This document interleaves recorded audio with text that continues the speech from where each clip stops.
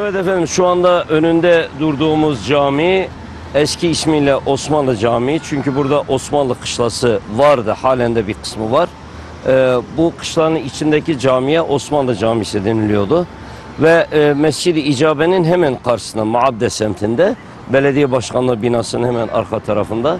Ee, bu cami de 1980'li yıllarda Harameyn projesi gereğince e, yıkıldığı yerine çok güzel büyük bir devasal cami yapıldı. E, şimdi tabi bu camiye Abdülaziz Camii deniliyor ve bu, bu camide de gerçekten birçok Müslüman kardeşimiz namaz kılıyorlar. E, hacca gelenler, ümreye gelenler bilirler ki e, Maabde'nin hemen orta göbeğinde bembeyaz bir cami böyle e, çok güzel bir mimarisiyle karşımızda duruyor. Evet Abdülaziz Camii bulunduğumuz yer Maabde ve e, Mekke.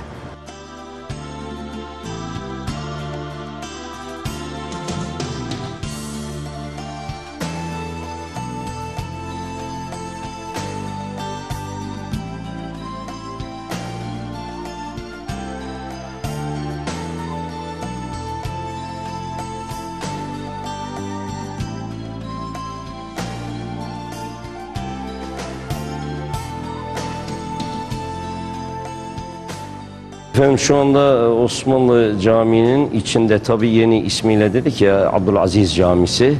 Ee, gerçekten eskiden bu caminin mimarisi daha küçüktü ölçeği. Yıkıldı aynı mimariyi koruyarak geniş bir şekilde yaptılar. Ee, hakikaten çok çok güzel, tertemiz, içinde talebeler okuyor. Ee, şu anda dikkat ederseniz avizeleri bizim İstanbul tarihi İstanbul camilerinin avizelerini modelini taşıyor. Zaten eskisi de böyleydi. Ama tabii yüz ölçümü çok küçüktü. Şu anda yıkıldı. Buraya böyle devasal bir cami yapıldı. Hakikaten çok çok güzel. Sizin için buraları görüntüledik. Ee, bir gün yolunuz inşallah düşer Maabde semtinde. Ee, Abdülaziz Camisi'nde namaz kılmak nasip olur diye düşünüyoruz. Ee, sizler böyle güzelliklerini seyrederken tabii talebeler de bize oradan el sallıyorlar, ders görüyorlar. Allah muvaffak etsin. Ee, müsaade ettiler. Buraları sizin için görüntüledik efendim.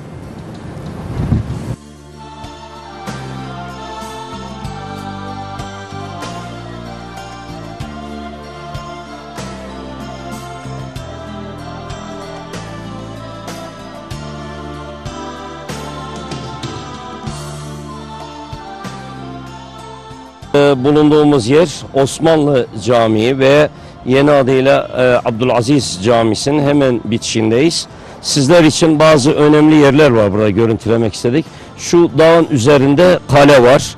Osmanlı Hicaz bölgesinin e, korunması, muhafazası için çok e, önemli yatırımlarda bulunmuş. E, Mekke-i Mükerreme'nin birkaç yerinde kışla var.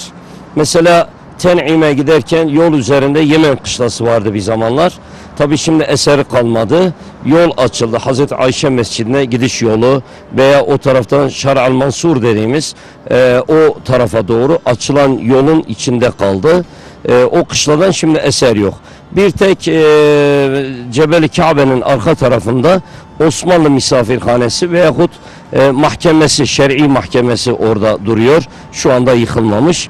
E, burası da yine Maadde semti. E, dikkat ederseniz şu dağın üzerinde yüksekçe eski bir kale vardı. Onu yıkıp yenilediler. Bu yüksekçe tepenin üzerinden Mekke'nin müdafasına çok önem vermişler. Ve hemen şu arkamda görülen kısımdaki orayı da sizlere görüntüleyeceğiz. Ee, yine Maadde semtinde belediye başkanlığının binasının hemen yanında Osmanlı kışlası sarı yapıdaki bina yakından da birazdan sizin için görüntüleyeceğiz. Ee, halen ayakta duruyor. Ee, inşallah bu eser korunur, yıkılmaz.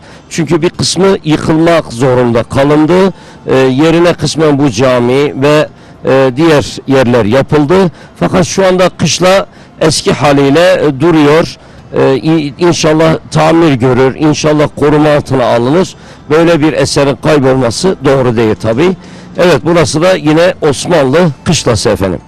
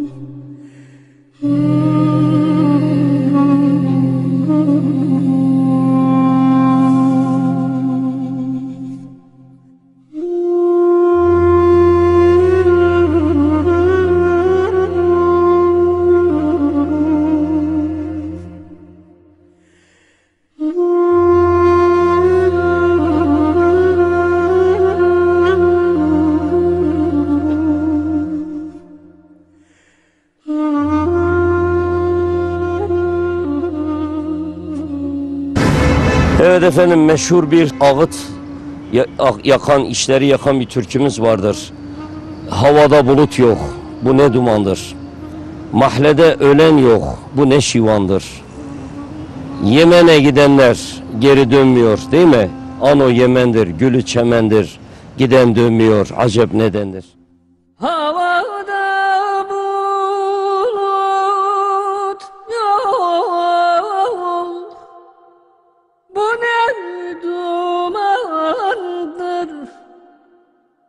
أهل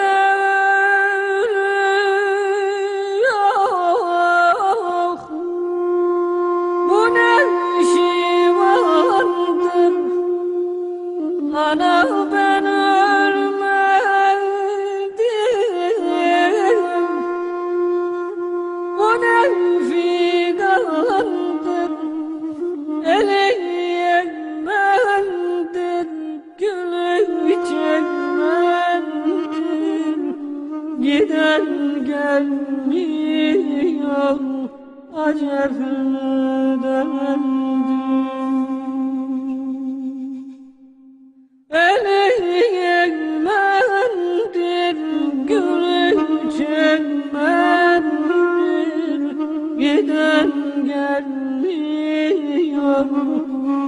Acep nedendir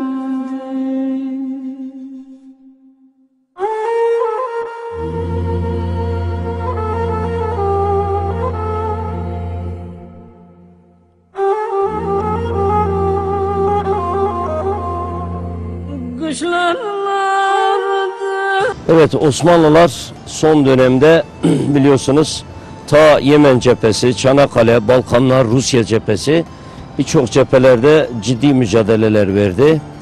Ee, bunlardan biri de şu karşımdaki ihtiyar ama bizimle böyle gözü yaşlı konuşuyor adeta şu kışlaya bakın. Yani bu kışlanın kapısına mail oldum yapısına derler ya türkülerle gidiyoruz.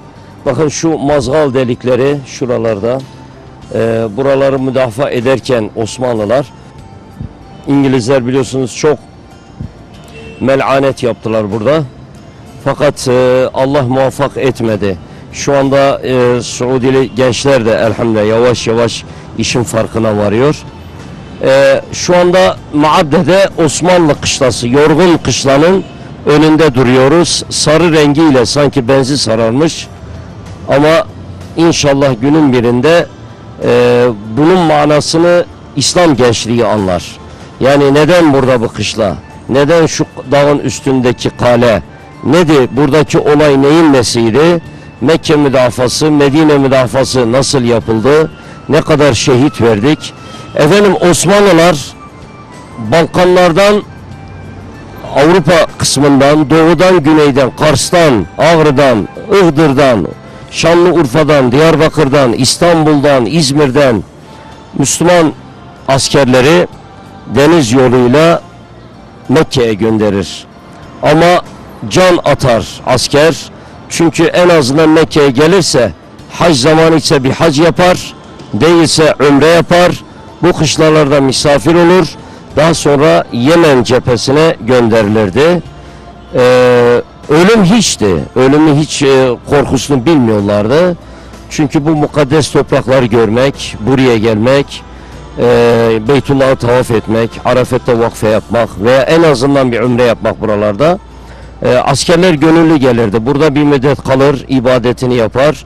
Ondan sonra yine Şuaybe limanından yani bugünkü Cidde limanından gemilere binerler ve oradan da Yemen'e, San'a'ya, Hadramut'a ve e, o türküde adı geçen burası huştur, yolu yokuştur, giden gelmiyor acep ne iştir. Evet Huş cephesine gider, orada savaşır, seve seve şehit olur. Gaye bu topraklarda i'le-i kelimatullahı, Allah'ın kelamını yüksek tutmak. Şu anda kışlaya bakıyorum da aslında bu duvarları bizimle konuşuyor. Benzi sarı, sarı rengi gibi. Bakın bir tarafı harap olmuş. İnşallah yaparlar. Çünkü mana yüklü bir kışla. Ve burası efendim yere düşen bir bayrak misali sahibini bekliyor. Ama biz illaki Türkiye'den değil, Suudili Müslüman gençlerinden, Suriyeli gençlerden, Iraklı gençlerden, Türkiye'li gençlerden, ümmet-i Muhammed'in gençliğinden bir daha o Osmanlı ruhunu ihya edip ve onu başımıza tac edip İ'le-i kelimetullah düsturları içerisinde buralara hizmet etmek. Evet efendim sizler için böyle bir ikindi sonrası serin bir vakitte Maadde'deyiz ve bu güzel yeşilliklerin önünde eee, Osmanlı kışlasını sizlere tanıttırmaya ve onun güzelliğini ve aynı zamanda mahzunluğunu sizlere tattırmak istiyoruz. Ben buradan her geçerken içim burkulur. Eee, anlayamamışız, bilememişiz. Hani Bediüzzaman çok güzel bir şey söyler. Der ki eee ümmeti Muhammed'e şöyle der. Ki adil pederinizi çatlattınız, öldürdünüz. Şimdi kabrinin başında ağlıyorsunuz ama pederiniz geri gelmez. Yani bir zamanlar İngiliz Lawrence'lerin şunun bunun oyununa geldik. Efendim ne mutlu Türk'üm diyene, ne mutlu Arap'ım diyene, ne mutlu Kürd'üm diyene, ne mutlu Arnavut'um diyene ilkesini bize aşıladılar. Halbuki biz şöyle derdik bir zaman. Ne mutlu müminim diyene, ne mutlu Müslümanım diyene ve bütün bunların üzerinde ne mutlu insan olana Allah Celle Celaluhu'nun dediği gibi insan vasfını taşıyana. İnşallah o vasıftaki insanlar, o kişiler bir gün kafasını kaldırır ve bundan kaç yüz sene önce Osmanlı'nın feryadını duyarlar efendim. E, Evet, şu anda bu görüntülerle sizleri baş başa bırakıyoruz.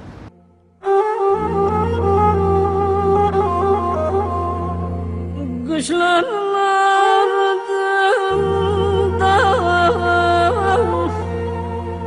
Uçan Kolumda kelepçe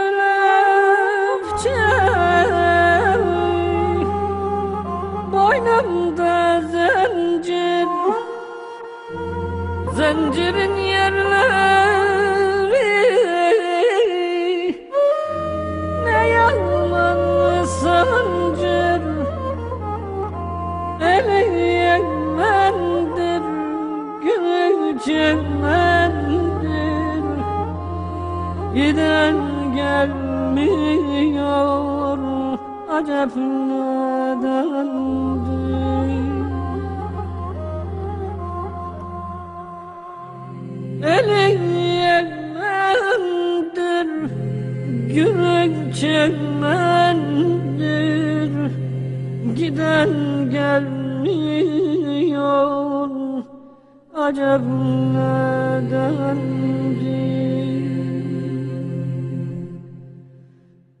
Eleyekmendir Yürek çekmendir Giden gelmiyor. Acep nedendir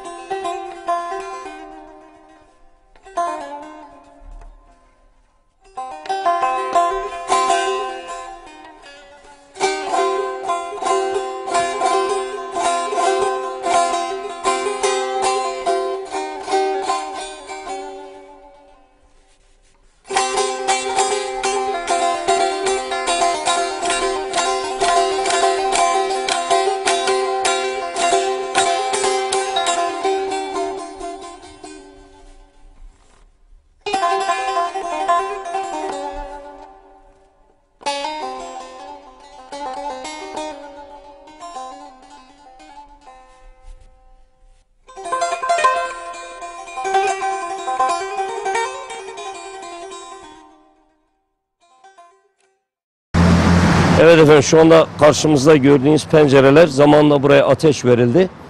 Ee, maalesef üzücü hadiseler.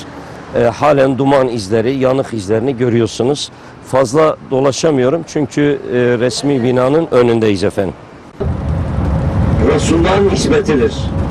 Yani Efendimiz aleyhissalatü vesselam bir toprak parçasına değil bir insan uzvuna, bir çiçeğe, bir kumaşa dokunduğu zaman oradan kolay kolay kokusu gitmezdi. Ehli tasavvuf bu işe en doğrusunu söylemiş. Derler ki nispeti Muhammedi var. Yani peygamberin aleyhissalatü vesselamın yansıması var.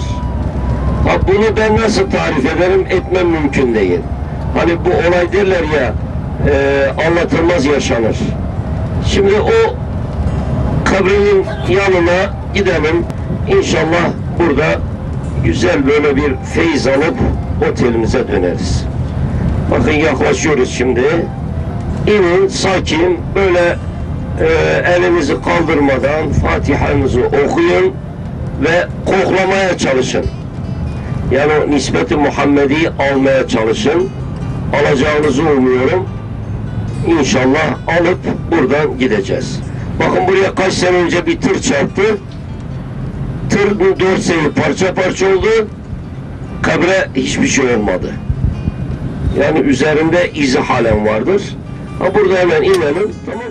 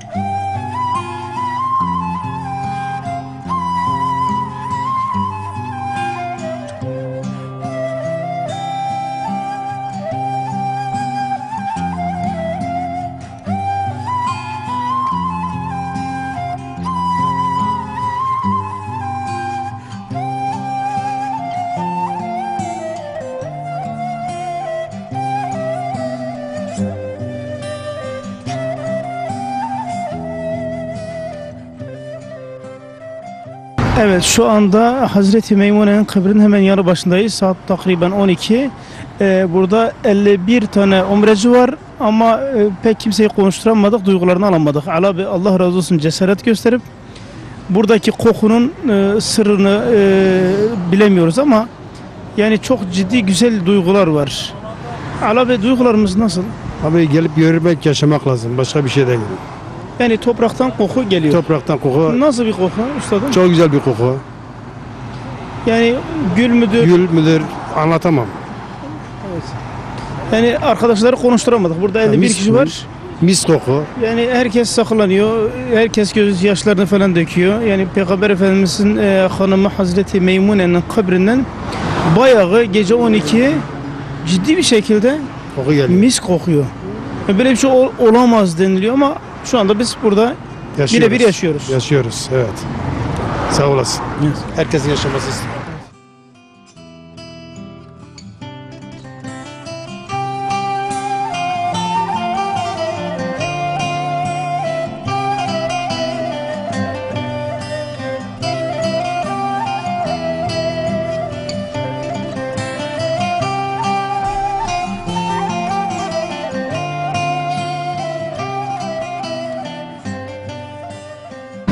Evet değerli dostlar şu anda Mekke-i Mükerreme'nin takriben 20 kilometre dışında Serif bölgesinde bulunuyoruz. Önünde bulunduğum ve şu anda böyle buram buram kokuların geldiği bir annemizin mezarı başındayız. Hazreti Meymune radıyallahu anha validemiz Peygamber Efendimizin 8. eşleri e, Mekke-i Mükerreme'de Peygamberimizin iki tane hanımları metfundur. Birisi Hazreti Hadice validemiz, biri de Meymune validemiz. Meymune binti Haris. Efendim Meymune validemiz Peygamber Aleyhisselatü Vesselam'ın Hudeybiye ümresi yani hicretin 6. yılı Zilkade ayında gelip Hudeybiye ümresini yapamadan dönmesinin akibinde tam bir yıl sonra 7. yılda Zilkade ayında Efendimiz kaza umresini veya umresini kaza etmek için Mekke-i Mükerreme'ye geldiler. Ve yolda Hazreti Abbas radıyallahu anh kendisine bir teklifte bulundu. Dedi ki ya Resulallah e, baldızın Meymune muttaki ve mümine bir hanımefendidir. Eğer arzu edersen kocasından dul kalmıştır. Kendisiyle evlenebilirsin. Ve Peygamber Efendimiz peki dedi. Teklif gönderdi. Tabi Ebu Rafi el-Kıpti radıyallahu anh Resulullah'ın azatlı kölesi.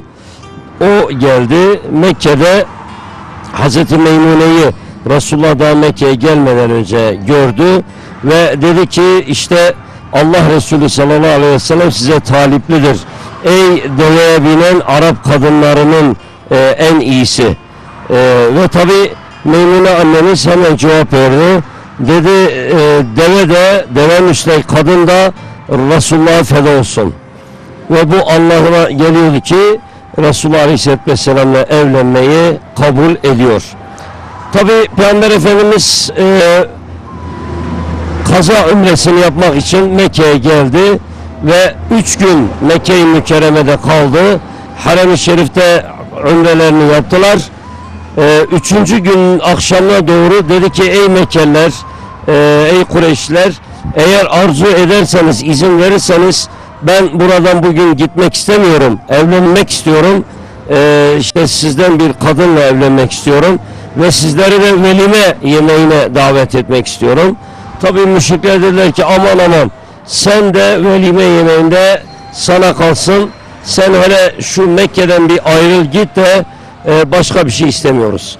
Ve tabii Efendimiz e, hemen e, ashabına haber saldı. Dedi ki e, gidiyoruz Mekke'den gidiyoruz ve Serif'te konaklayacağız. İşte Serif dediğimiz burası. Tabi sahabeler buraya kadar geldiler ve şu kabrin bulunduğu yerde Allah Resulü'nün e, istirahat buyuracağı çadırını kurdular. Ve o gece burada Hazreti Meymune annemizle Allah Resulü zifaf oldular. Tabi e, daha sonra Medine'ye yürüyüp gittiler. Aradan yıllar geçti efendim. Aradan yıllar geçti. Resulullah Aleyhisselatü Vesselam vefat etti ve e, Hazreti Ebu Bekir, Hazreti Ömer dönemlerini de e, geçirdikten sonra Hazreti Meymune ileriki tarihlerde kalktı tekrar Mekke'ye geldi. Mekke'ye yerleşti ve Mekke'de e, ikamet etmeye başladı. Burada e, çok talebe yetiştirdi. Sahabe çocuklarını, özellikle sahabenin kız çocuklarını yetiştirdi. E, onlarca veya belki yüzlerce e, bayan talebeler var. Tabi emri hak vakı oldu. E, o vefatına yakın günlerde talebelerine rica etti. Dedi ki beni Serif'e götürün ve Serif'te benim için bir çadır kurun. Geldiler sahabeler ve tabiinler buraya çadır açtılar, çadır kurdular. Meymune annemiz yaşı bir hayli ilerlemişti ve geldi burada üç gün ve iki gün hasta yattı. Daha sonra dedi ki ben burada vefat edersem beni şuraya gömün. Yatağımın olduğu yere gömün ve bir, iki, üç gün sonra vefat etti. Ee, sahabeler veya tabiinler kendisini alıp aynen bugünkü şu kabrinin olduğu yeri kazdılar. Kendisini buraya defnettiler. Tabi e, buraya defnedilmesinden sonra da e, bugün halen bakın şu anda ben konuşurken bile toprağından tarif edemeyeceğim derecede güzel bir kokunun estiğini hissediyoruz. E, gece gelip burayı kokluyoruz. Bu topraktan acip bir koku geliyor. Yani buna tasavvuf dilinde e, nispeti Muhammediye Peygamber Efendimizin nispeti buraya böyle yansıyor ve güzel kokuyu e, müminler burada alıyorlar. Fakat e, ne garip ki burası Mekke-i Mükerreme 20 kilometre uzaklıkta kolay kolay herkes buraya gelemiyor. E, herkes gelip bu güzel kokuyu teneffüs edemiyor. Ancak bilenler gecenin belli bir saatinde buraya geliyorlar bu güzel kokuyu teneffüs ediyorlar. Az önce arkadaşım görüntüledi. Şu arka duvara yıllar önce kocaman bir tır çarpmıştı. E, tırın dorseyi parçalandı. Elhamdülillah ölen falan olmadı. Fakat şu duvarlar gördüğünüz biriket duvar, beton duvar. Bu duvarlara hiçbir şey olmadı. Bu da işin bir başka cilvesi olsa gerek. Allah böyle istemiş, böyle oldu. Ee, şurayı yani bu güzel yeri, bu güzel mekanı sizler için görüntüledik. Rabbim e, annelerimizi bize mahşer gününde şefaatçi kılsın efendim.